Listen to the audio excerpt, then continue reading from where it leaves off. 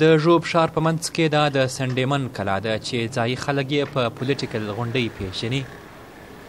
د بحري بیړۍ په شکل کې دا کلا یو سلو پنځه ویشت کاله وړاندې د دې وړې غونډۍ پر سر هغه مهال جوړه شوې چې په دې سیمه د بریتانیې واک و.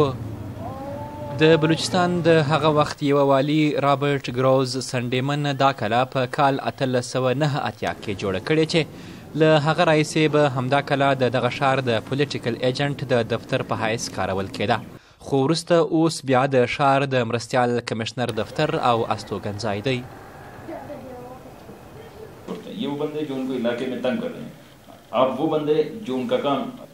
نزار کیتران د یادې سیمې یو سلو څوارلس م لوړپوړی چارواکی دی چې د مرستیال کمشنر په حیث دنده ترسره کوي.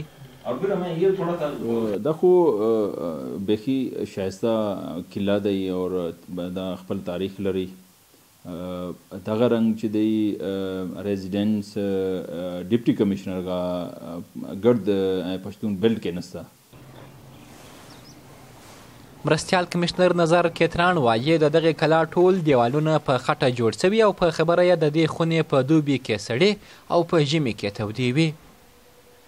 موسم سرما کې چې دی دا ولې دا دی خټ دیوال دیوال چې دی دا یې خټ وګه دی او دیوال موټای چې دی یې تقریبا ډېر تا دو فوټ چوړای دی دیوال ګه اور خټ ګا دی جوړ سوی.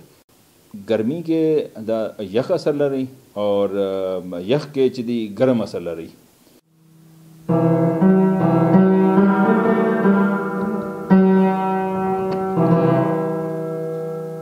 که څه هم زه خپله د پیانو په چلولو بیخی نه پوهیږم خو همدا هغه پیانو ده چې سل کاله مخکې د سنډیمن د دې کلا تر جوړیدو وروسته دلته راوړل شوې، همدلته ښوول شوې او په هغه وخت کې چې کله به ټولنیزې رسنۍ نه وې، نو دلته چې کوم مشران اوسېدل، هغوی به خپل ساعت تېری په همدې پیانو باندې کاوه.